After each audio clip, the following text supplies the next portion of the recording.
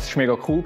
Die Künstler haben wirklich wenig Anlaufzeit gebraucht und dann haben sie angefangen, ihre eigenen Ideen zu entwickeln, über Hoffnungen nachzudenken, das aufs Papier bringen zuerst und nachher auch an die Wand an.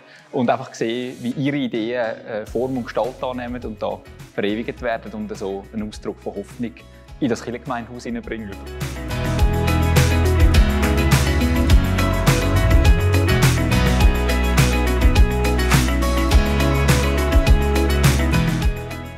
Wenn ich so die Wand anschaue, bin ich mega zufrieden mit dem, was wir gemacht haben, was vor allem die Teams gemacht haben.